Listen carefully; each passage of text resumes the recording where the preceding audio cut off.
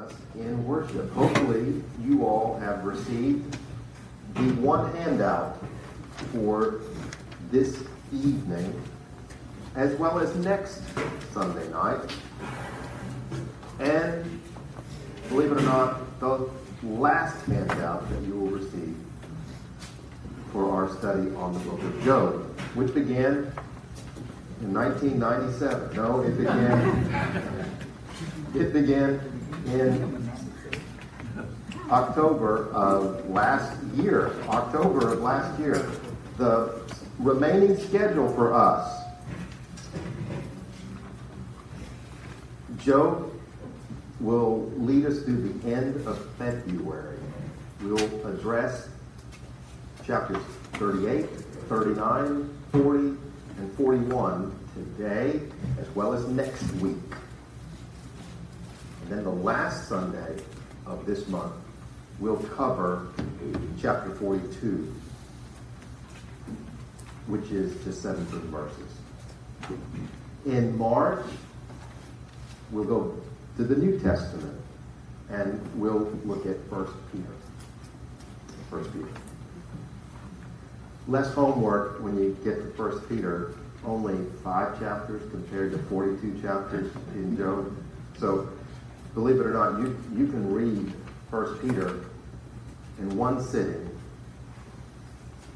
in about 13 minutes from start to finish. So, see how y'all Your do. study will last ten weeks, right? What? Your study will last ten weeks. I don't know. I don't know. But it, it, we, we immediately start with the doctrine of election. Here's here's my uh, teacher's help here, Jerry. You've been fired, Jerry. The, handouts have already been delivered. We actually had budget money, and we paid teacher aides today. I'm sorry, you got no money. Yeah, it's all spent. Finance committee met today, and uh, we, we spent the money. No, that's not true. Don't. That's just a joke. I might start a controversy here. You better not. Be quiet. Okay. Great. So, wow. Rick, is that okay? I am. I am hot. The mic, that is. Yeah. Have to clarify. Just my opinion. Well, I am warm up here too. I know. I know. My wife is hot natured, so she she'll say, "I'm hot," I'll say, well, "Stop bragging." yeah, I can I can get away with that. I can say that about her. Charles Williams penned the following conversation between the archdeacon and Mr. Mornington, two characters in his novel, War in Heaven. I'm afraid, the archdeacon said gloomily, this interest in what they call the occult is growing. It's a result of the lack of true religion in these days and a wrong curiosity. Oh, wrong, do you think? Mornington asked. Would you say any kind of curiosity was wrong? What about Job? Job, the archdeacon asked. Well, sir, I always understood that where Job scored over the three friends was in feeling a natural curiosity why all those unfortunate things happened to him. They simply put up with it, but he, so to speak, asked God what he thought he was doing. The archdeacon shook his head. He was told he couldn't understand. He was taunted with not being able to understand, which is quite the same thing, Mornington answered. As a mere argument, there's something lacking, perhaps, in saying to a man who's lost his money and his house and his family and is sitting on the dustbin, boils all over him. Look at the hippopotamus. Mr. Mornington sarcastically referred to Yahweh's, which in your Bible is translated Lord, capital L, capital O, capital R, and capital D, all caps. Did you notice whenever you have read the Old Testament that our English translations will distinguish between Yahweh and other names for God that can be translated Lord. As an example, even though you're not yet Hebrew scholars, not yet, you've heard Adonai. Have y'all heard Adonai? Anyone? Yes? Whenever Adonai appears in the Old Testament, the English translators will capitalize the L, and O-R-D will be in lowercase. Not the case with Yahweh, that very special name. Whenever Yahweh appears, all caps. Look at your Bible, your favorite Bible, and see if in chapter 38, verse 1, when you read, Then the Lord answered Job out of the whirlwind and said, Lord, in my Bible, is capital L, capital O, capital R, capital D. That is Yahweh in the Hebrew. Now you know more Hebrew than you realize. Mornington sarcastically referred to that second Yahweh speech, which begins in chapter 40 and verse 6 through chapter 41, and verse 34. We'll address that second Yahweh speech in better detail next week. Next week. So you still have time if you've not done the homework, having read all of chapters 38 through 41. You still have time. Prior to Yahweh's speeches, which is how, which is how Old Testament scholars label, if you're wanting that outline, which is how Old Testament scholars label chapter 38, 39, 40, and 41, the Yahweh speeches.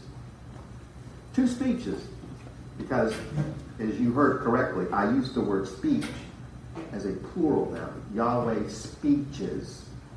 The first speech is chapter 38, verse 1, through chapter 40 and verse 2. Chapter 38, verse 1 to chapter 40, verse 2. You've got, hopefully, you picked up the handout today. This is all before you. You don't have to frantically write some of these statistics because the handout is available. If you didn't get the handout before, we have plenty of them. You can pick one up after.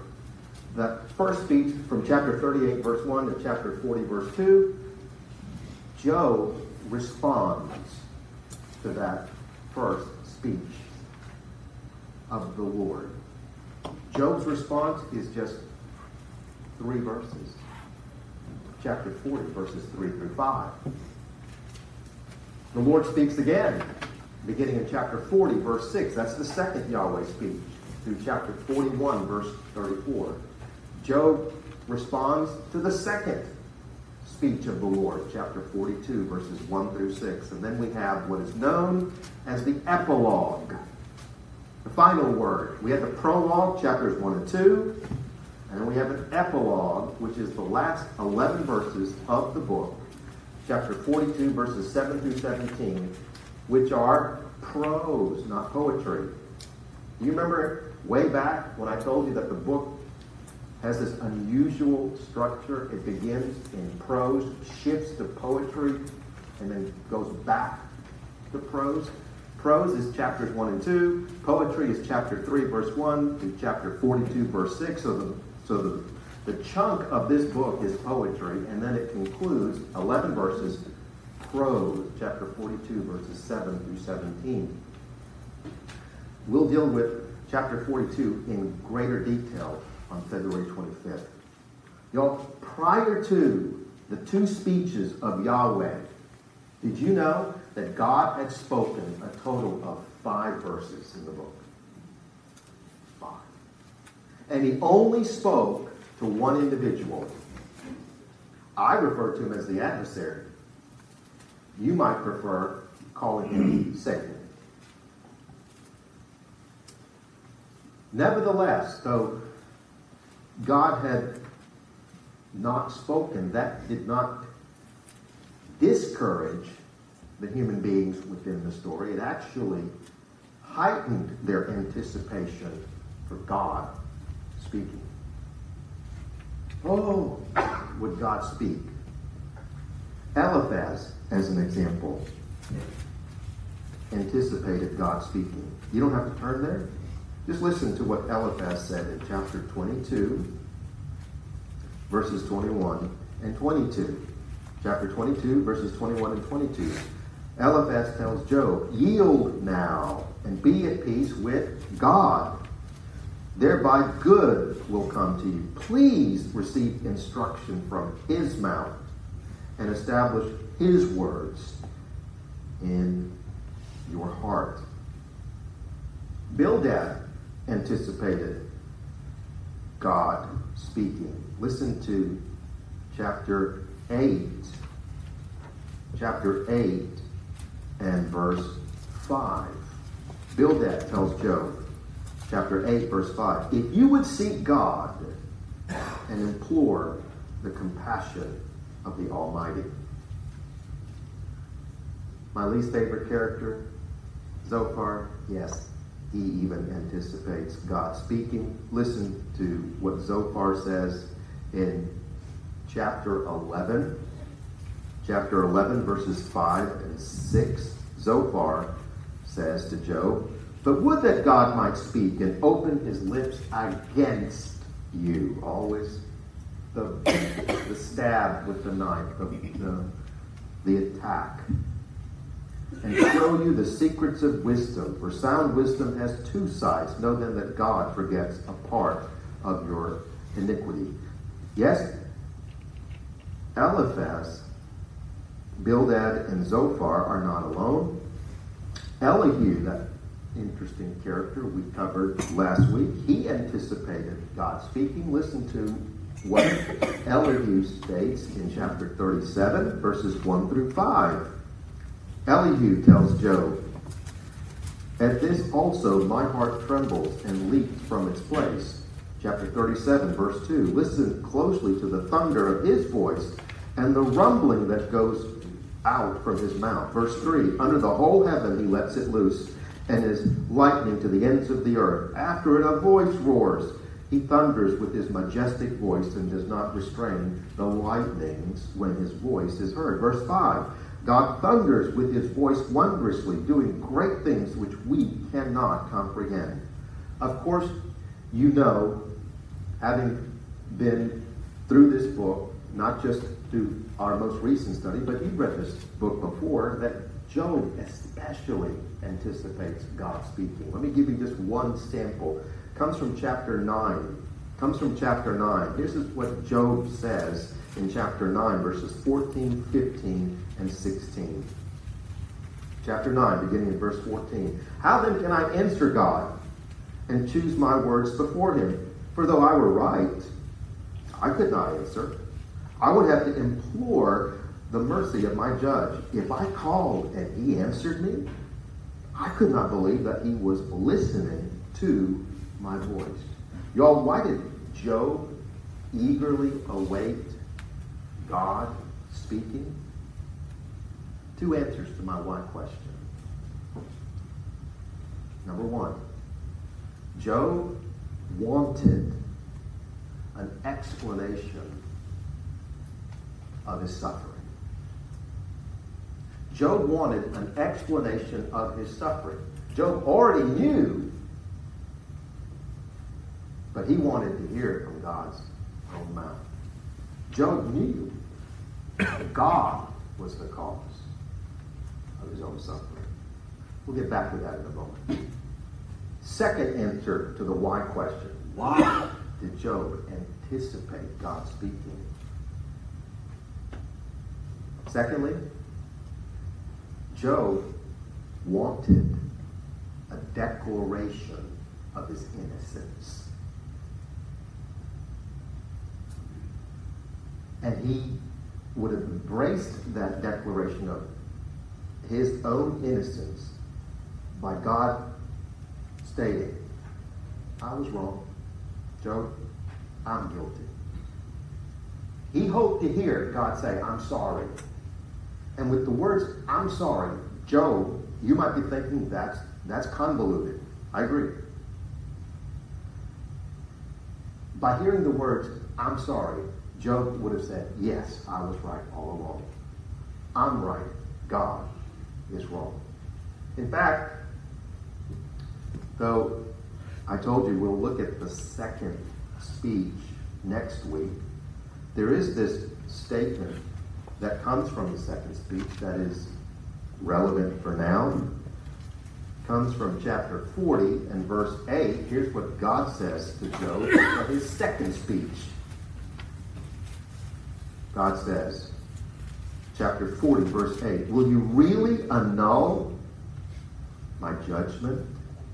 Will you condemn me that you might be justified? Do, do you see that? Everything is dependent upon God being guilty. The only way that Job thinks he can be declared right is by God Himself admitting, I was wrong, Job. I mistreated you. So, as I said, Job wants an explanation of his suffering. Job wants a declaration of his innocence. Consider again, in, in a little more detail, Job wanting an explanation of his suffering. If you count the first monologue, that's chapter 3. Then you have eight speeches by Job as responses to his friends. After which you have the second monologue. Job chapters 29, 30, 31. So that's 10 speeches in this book. Just think about that. 10 speeches of Job. Seven of the 10 times that Job spoke, God's omnipotence and God's omniscience were an issue. were an issue. Job did not doubt those divine traits. Yeah, God is all powerful. God is all knowing. Job never doubted those divine traits. Job criticized how God, as ruler, used those traits. God, in essence, uh, for the sake of time, I won't go and read, but as a sample, you can go to chapter 12 of the book of Job. That's just one of Job's speeches. And look at verses 13 to 25. Chapter 12, verses 13 to 25. And you see, as you read, accusation upon accusation, Job pointing his finger and saying, You abuse your position of authority. You take advantage of the innocent and the helpless. And of course, he's the prime example of God abusing his position of authority. I'm a victim, Job says. I'm a victim of God's omnipotence and God's omniscience. Seven of the ten speeches features God's omniscience and God's omnipresence. And they're issues for Job. Makes him upset. For us, we thank God that he's omniscient. He's all knowing. We thank God that he's omnipotent, that he's all powerful. Not the way Job saw it. Y'all, of those ten speeches, four of the ten times that Job spoke, the prosperity of the wicked was an issue. The prosperity of the wicked. They get away with it. And Job he expresses God is capable of hmm. deterring evil. He is. But he doesn't do anything. He's got the power and he's got the knowledge, and he fails to deal with rampant evil on this planet. And instead of dealing with rampant evil on this planet, Job would say, he's picking on me. And I'm innocent. I'm innocent. So Job is expecting, demanding, when God speaks, explanation of suffering, declaration of innocence. When you read the 126 verses of the two speeches of the Lord, you will discover that Job does not get anything that he wants. He doesn't. He wants an explanation of his suffering. Doesn't get it. He wants a declaration of his innocence. He doesn't get it.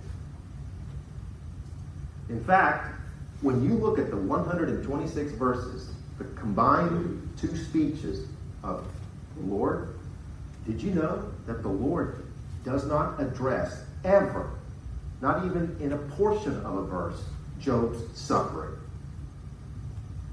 Never talks about it. He doesn't even address the issue of suffering in general, that it's just a part of the human condition. I'm looking at a room full of folks that have had their fair share of suffering. That's, that's the one common denominator. Does not matter whether you're young or old, religious or irreligious, educated or unlearned, wealthy or poor, or whatever your ethnicity. Suffering is the one common denominator of this life. And we know why. You just have to go back to Genesis 3. We messed up. I mean, none of this was God's idea. But we're, we're paying the price for the consequences of our own rebellion against God. And as I have acknowledged to the Lord, I've, I've said, Lord, I've made the sin problem worse. I haven't made it better. I've added to it. My sins were sufficient to send the Lord Jesus to the cross. And that's sins plural. I, am a problem. I'm part of the problem. And I needed a Savior as much as Adam and Eve did. Yes.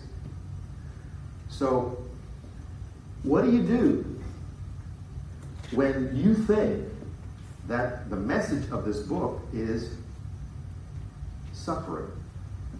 What do you do when you get to chapter 38, 39, 40, and 41? The folks who insist that this book is about suffering collide with the Yahweh speeches. Y'all won't. Why? Because I've been a good guy. I've, I've opened you to another possibility that though suffering is a theme, that this book is not merely about suffering. It's actually about something much bigger than human beings suffering. It's about God. This book is more about God than it is about Job, than it is about us. This book is about God's sovereignty. God being in charge. God being in control. Remember the two questions that I presented to you months ago. And I said, notice how the characters, the various characters, answer the two questions. The first question being, is God in control? And then the second question, a follow up. If so, is God loving and just? When we looked at Job, he, the first to, uh, to respond among the human beings, the first to respond among the human beings, Job answered yes to both questions. He does. Even after round one of his suffering, he says, The Lord gives and the Lord takes away. That's God's in charge. Blessed be the name of the Lord. Job worships. That's yes to the second question. The Lord, as in charge, is loving and just. Something happens, however, in chapter 3. There's a shift in Job's attitude. He's, he has not changed his answer to the first question. He never does. God is in control. But he changes his answer to the second question Is God loving and just? Answer No. How can he be if I'm suffering like I am? How can he be? He's unjust.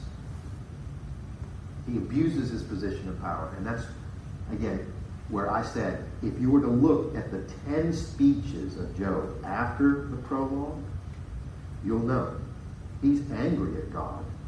He doesn't believe God is loving and just because, as I've already said tonight, God abuses his omnipotence and his omniscience, and God ignores the prosperity of the wicked. Instead, picks on me on me.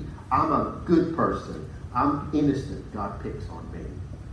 What do you do if you believe that suffering is the message of the book? Then you, you're stuck. You don't know how to deal with chapters 38, 39, 40, and 41. Why doesn't God address suffering if this book is about suffering? Why doesn't God specifically address Job's situation? I mean, isn't that the elephant in the room? How does one how does one deal with the speeches of the Lord if this book's about suffering? You won't like either way. One way to think about it is that God's a politician. Is God a politician?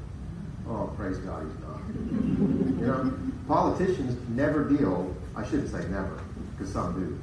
Most politicians, for the sake of approval rating, will not deal with what is controversial. They don't. They sidestep it.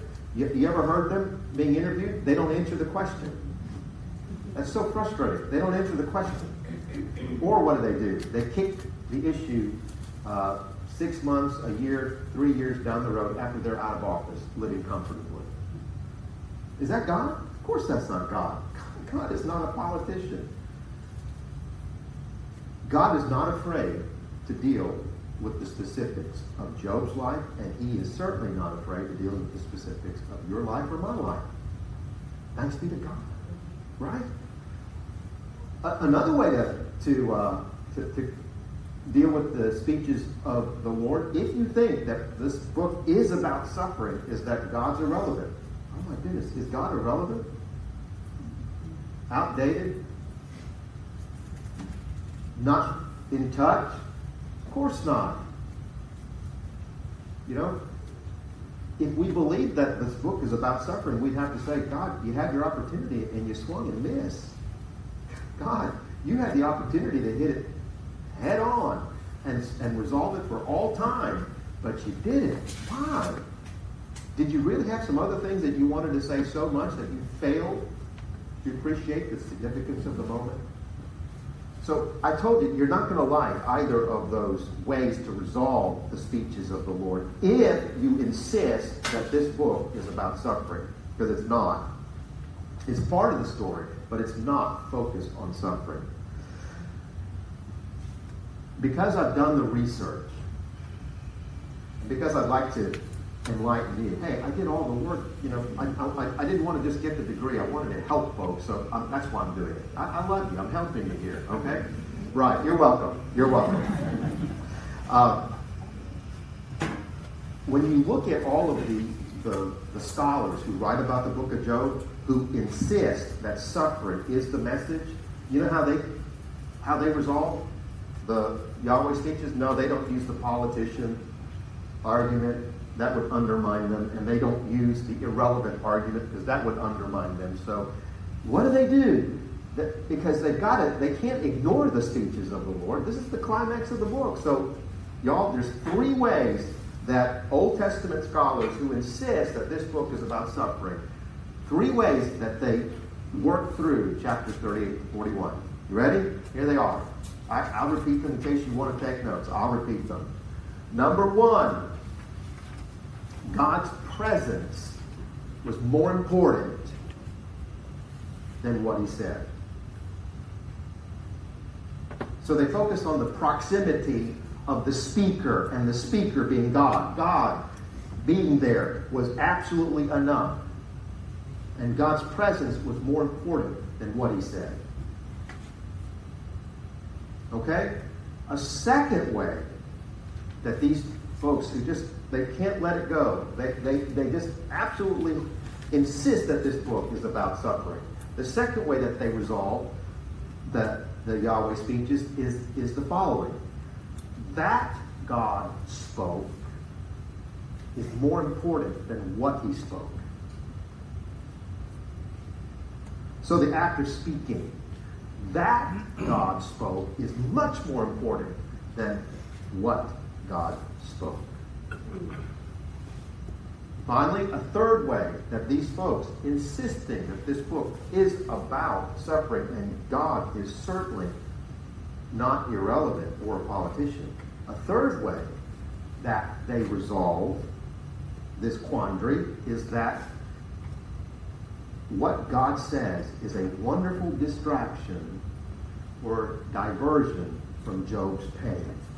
You know, kind of like if we're stressed, we, we might put some music on, and, and it kind of takes our mind off of what's happening, what we're facing. And so that's what they're saying. hey, God speaking, uh, he, he really wasn't intending to, to, to deal with Job's questions. No, he just wanted to, to get Job's mind off of the pain. And so by listening to God just for a few minutes, you know, Job had peace. So speaking as a distraction or as a diversion. I want to respond quickly to each of those. Okay?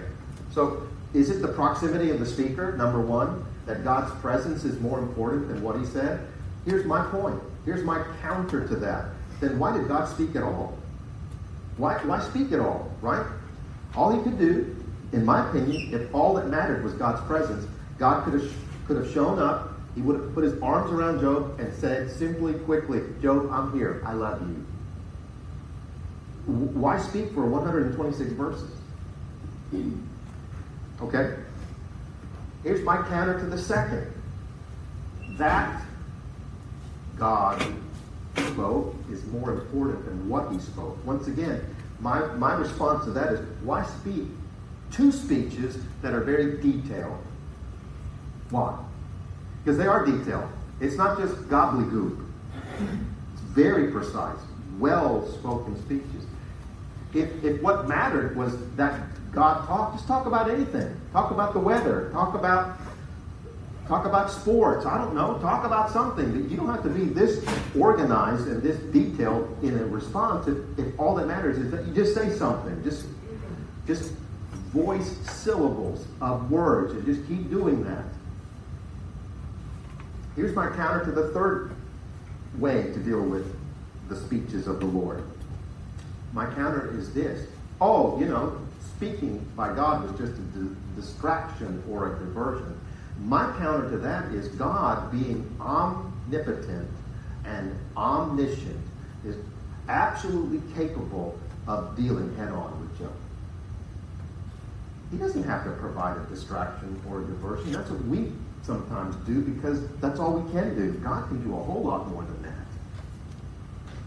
So I'm saying to you, God is absolutely capable of doing much more than just diverting and distracting Job. Okay, so now, did Job get what he wanted? Answer no. Did Job get what he needed? Ah, that's a different question. And the answer you be the judge. Listen, yeah, I'm getting ahead of myself. This is this is for two weeks from now. Two weeks from now. Listen to Job's second response. Job's response to the second speech of the Lord. Chapter 42. Verse 1. Then Job answered the Lord and said, I know that thou canst do all things, and that no purpose of thine can be thwarted. Who is this that hides counsel without knowledge. Therefore I have declared that which I did not understand. Things what? Too wonderful for me, which I did not know. Hear now, and I will speak. I will ask thee, and do thou instruct me. I've heard of thee by the hearing of the ear, but now my eyes sees thee. Therefore I retract, and I repent in dust and ashes. Sounds satisfied to me. Job didn't get what he wanted. Job got what he needed. Mm. Isn't that always true? It's true about my life. I look back and I think, boy, I really wanted that. I thought I needed that. And even prayed about it passionately. And God was smart enough not to give it to me. Yeah, the country singer Garth Brooks saying, Thank God for unanswered prayers. Yes. Because I'm living proof of examples of I didn't know what I was praying about. I did what I thought was the Lord told me to do is pray and pray specifically. So I did, and, and, and I'm glad He didn't answer my prayer because I'd have been married three times before I met Mary Ann. Boy, I really thought that Debbie was the right one. Oh, yeah, I really did. Uh, then it was Laura, and, uh, and then it was then it was Tracy, and it's like, oh well, you know, didn't have a clue what I was asking for, but I knew I was right, and I knew my need, and I'm so thankful. God said with a smile, nope, wrong, wrong again, Ivan, wrong again. Y'all, aren't you glad about the following? God, being divine, being divine, are you ready? Is free. He's free. What does that mean? He's free to act or not to act. He's free to speak or not to speak. Human demands and human time schedules, we've all got those schedules, do not hold God ever hostage. And the book of Job is proof that God did not speak when Job wanted, and God did not speak what Job wanted. I find that to be absolutely brilliant literature. That God did not speak immediately after Job's impassioned oath of innocence in chapter 31. God didn't show up. Job didn't burn up. Remember? Elihu spoke instead, which reveals, again, before we even get to the speeches, God is sovereign. He cannot be coerced, he cannot be manipulated. The fact that I cannot manipulate or coerce God is good news for you all.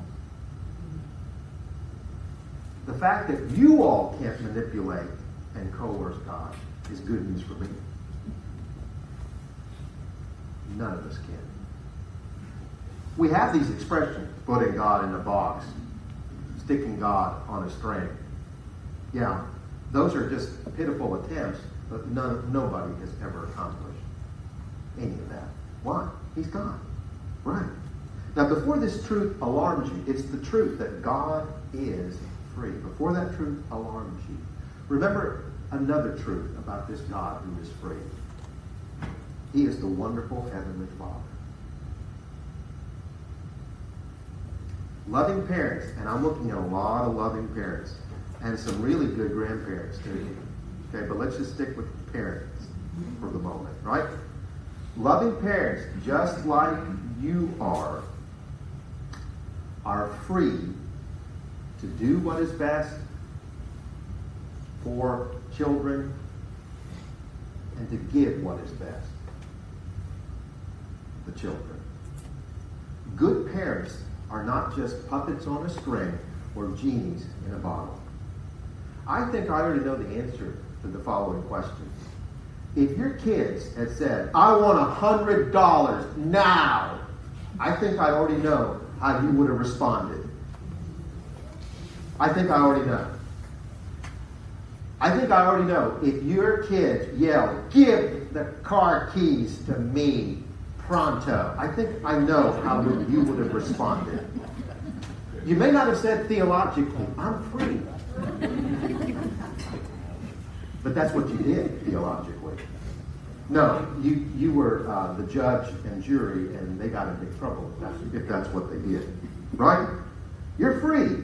The same God who is free to act or not to act, free to answer or not to answer, promises us.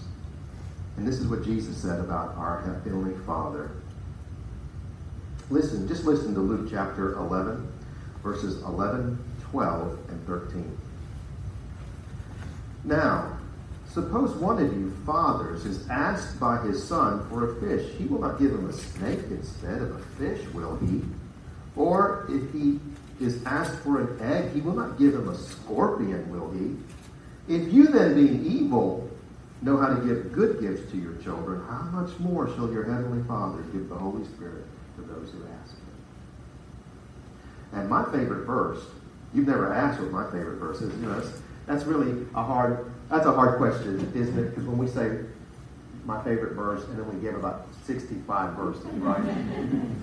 but if, if I had to be, uh, you know, uh, cornered and asked for one favorite verse, believe it or not, it's 1 John chapter 5, verse 14. 1 John chapter 5, verse 14. And this is the confidence that we have, that if we ask anything according to his will, he will hear us. I love that verse. This is the confidence that we have, that if we ask anything according to his will, he will hear us. Now, that's not just audible, you know, he's not just hearing the sound waves, but that's saying he responds. He responds. So, you may have heard it, and I forgive you if you ever said it. That oft repeated saying, be careful what you pray for because God just might give it to you is not biblical, it's not theological. It isn't. I've already told you, I've asked for things. I have been, I've, I've named it and claimed it. And guess what? Nope. Not getting it. Not getting it. Why? Because he knows best. He's a loving Heavenly Father, and he takes care of all his children. That's good news. Now, y'all keep praying. Keep praying. And let him sort it out. Let him sort it out. Uh, I, I, I would say to you, don't let that be a, a deterrent to your praying. Well, you know, I, I don't want to be wrong in my praying. Ah, you, you, we already know from Romans chapter 8, verse 26, that we don't know how to pray as we ought. But the Spirit Himself intercedes for us with groanings too deep for words. We need to pray. So pray. And just trust because He's earned it. That how He responds to you is what is best for you. And that's a good reminder whether you're a teenager wondering when does life begin, like I said this morning, or later in your, your lifetime. And, and we're still praying for things, aren't we? We'll be praying for things until we breathe our last or when, when He returns. It's good. You keep praying. That pleases Him. That demonstrates that you trust Him. And that matters to Him. And that's what we need to do. So, Job, you ready? He wanted answers. Do you know what he got? Once you read these two speeches, you find out he got questions. He got questions. God does his best. Alex Trebek. Does anyone know who Alex Trebek is? Of course, yes. The, that's right. I'm hearing him. That's right. Uh, the Jeopardy host, right? So God, instead of giving Job answers, instead, rapid fire asks questions. 60 questions in the first speech. 60. Chapter 38, verse 1 to chapter 40, verse 2. And then, if that wasn't enough, 26 more questions in the second speech. Chapter 40, verse 6, to chapter 41, verse 34. 86 questions in all. Not what Job wanted, but exactly what he needed. Because God is being very gentle here. He's being the teacher. We might think, oh man, God's really uh, blitzing Job, uh, you know, uh, making mincemeat out of him, Swiss cheese out of him with these questions. I mean, what's God doing? He's trying to flaunt his his his, his ability as God, and, and he's just pulverizing Job, embarrassing Job. No, no, he, he's being instructional here. Job needs a little lesson, a little clarification, and God provides that in the, in the best way possible. It's not a scolding. It's a lecture, but not a lecture of, let me tell you. It, it's really uh, a way for, for Job to think, rethink. Uh, y'all, I'm not as good as God, may I say, as a teacher. When you turn in your test to me, it's too late to change your answers. Is that not unfair? It's just not. You know, I, I, I know. It's, it's just not nice, is it? Once they turn the test in, it's too late. Now, I've had students, they come up to me with their test, and then they're like, as I say, oh, hold on, hold on, I, I, I need to change something. Okay, you, you can change it now. You still have a moment to change it, but once you give it to me, it's too late. Too late. What I love about God is that you can change your answer. He lets you. Are you sure, Job, that's your final answer? Are you sure? God gives us all the opportunity to change the answers. We can get it right. After getting it wrong, we can still get it right. What a God. Elliot. I like the comment they had about uh, God asking Job, would you discredit my justice? And Job and his friends constantly defended God's justice. But Job simply wanted to see justice for him. God turned the table. He showed Job that he, like his friends, were using technical, uh, theological argument in an improper fashion. He talked of the justice of God in order to prove the justice of Job. In so doing, he actually ended up claiming God was unjust. Such a claim was not necessary to prove justice. Certainly, God is just. In his wisdom, however, he does not choose to let us know all the evidence to prove his justice. We must trust him even when we do not understand his just way. There's a song like that when, we don't understand God's plan, Mm-hmm. trust his hand. Yes, right. Thank you. Is it, that, that comes from your, is that from your study Bible? Yes, That's an excellent study Bible. I, I would agree with everything that you just read. Thank you very much. Absolutely. Now, we got about five minutes to go. Here's what I'm, I'm, I'm going to do. In regards to this first speech, y'all, there's a theme. You know what the theme is? Knowledge. The theme of the first speech is knowledge. And by means of these 60 questions, God kindly reminded Job, I know that you don't know. I know that you don't know. You think you know, you don't know. Notice this theme, okay, as part of the questions. Just give you a sampling here, chapter 38, verse 2 and 3. Who is this, God asks, that darkens counsel by words without knowledge? Now gird up your loins like a man, and I will ask you, and you instruct me. Really? okay, God, if that's what you want me to do, I quit. No, I'm not instructing you, but not Job. Look at verse 4, or listen to verse 4.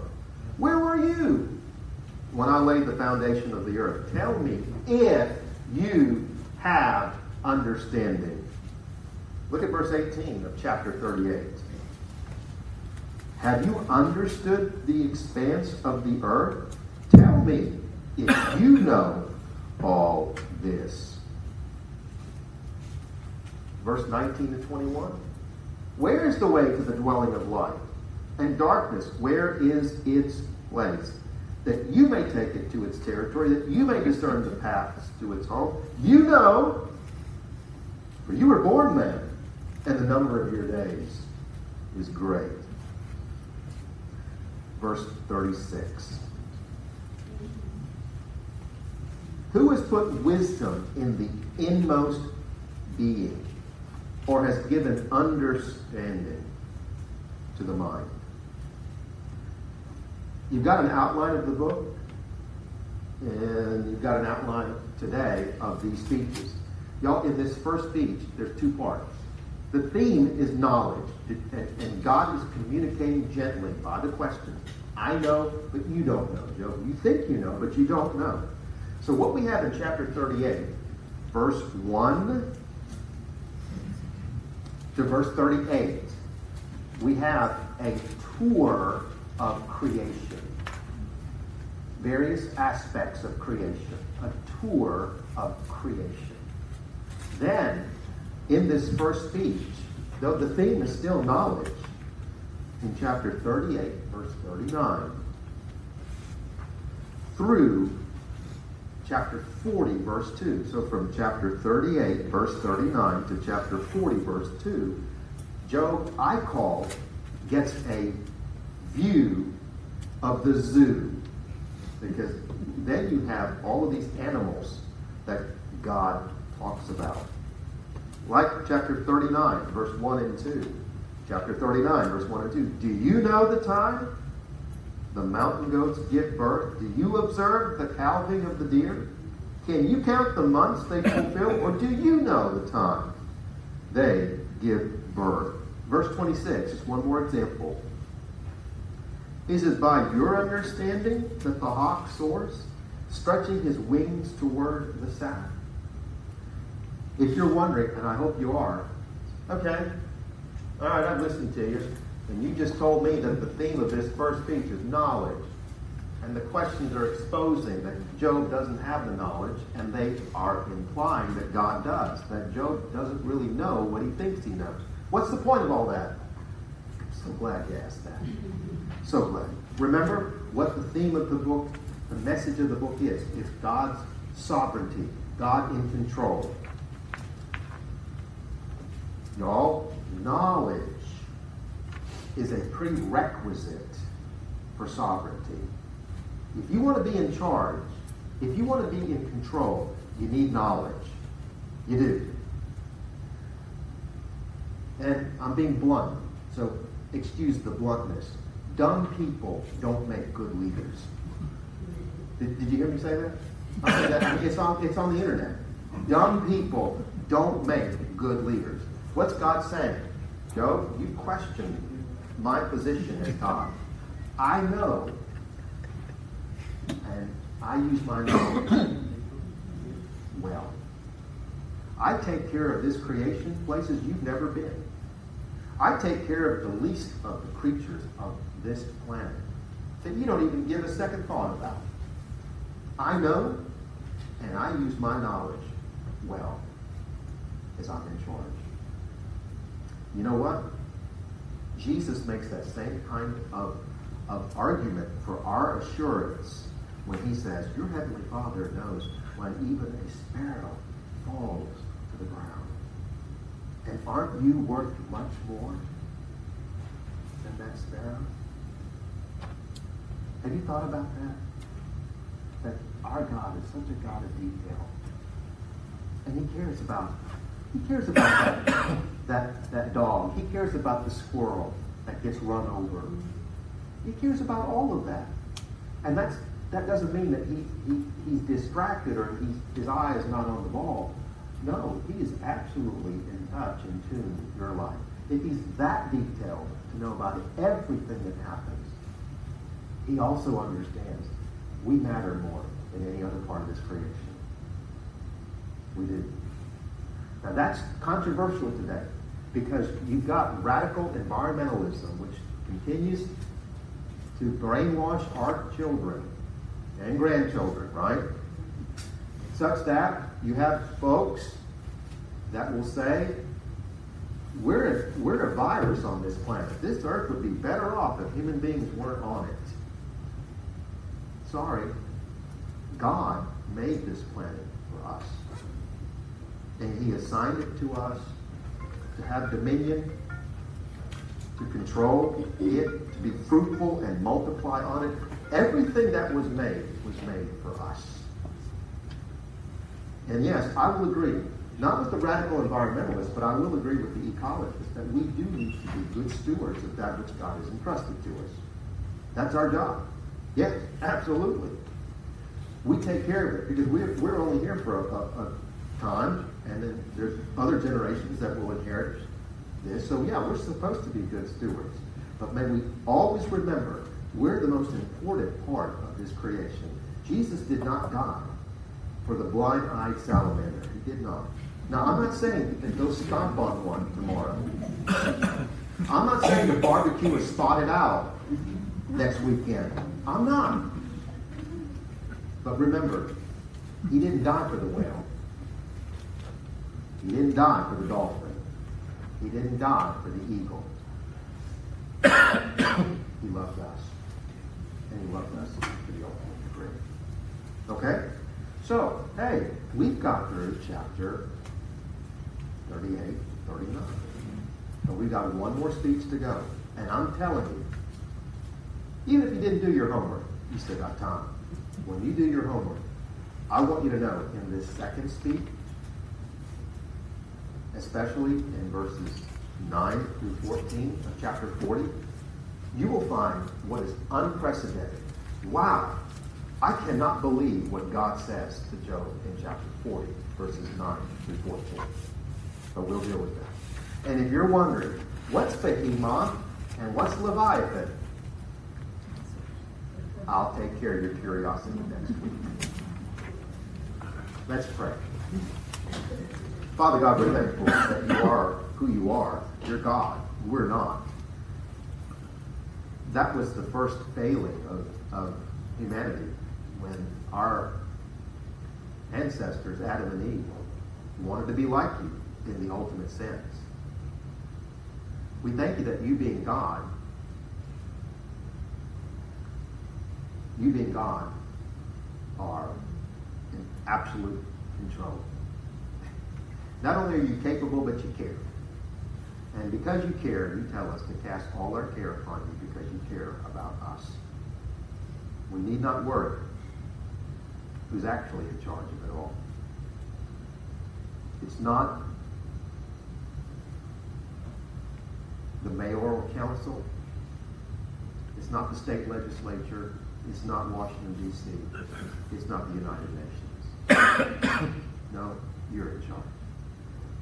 And that gives us peace. We can rest at night. That you are for us and not against us. You who did not spare your own son, but delivered him up for us, how will you not also with him, Paul wrote, freely give us all things? And there's nothing that can separate us from your love. And you demonstrate that love over and over and over again. Thank you that you're above every demand. that you can't be bribed, you can't be manipulated, you can't be coerced in any way. That's the reason why your will is good and acceptable and perfect for all of us, not just a few. Because you don't cater to anyone and give preferential treatment to just one. You are impartial. You're absolutely fair. You're just, as we've already discussed tonight, even when we do not understand your justice. Help us to trust you. In Christ's name we pray.